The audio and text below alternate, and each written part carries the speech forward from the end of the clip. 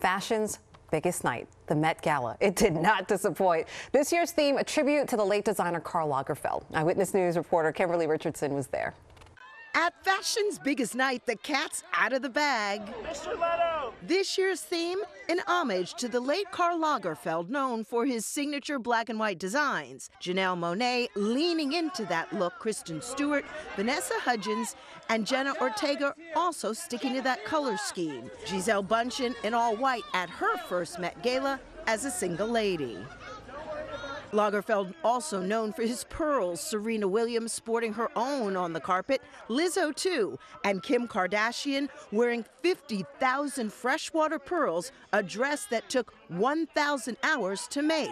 The stars out in force. Karl loved being red, so I wanted something red. A total genius, revolutionary, so modern, so cool. But this year's most show stopping moments inspired by Lagerfeld's beloved cat, a cat clutch, and Doja Cat transforming her own face to look like her namesake animal. This took an hour, face, every, all this 20 minutes, 15 minutes. It, it's kind of crazy.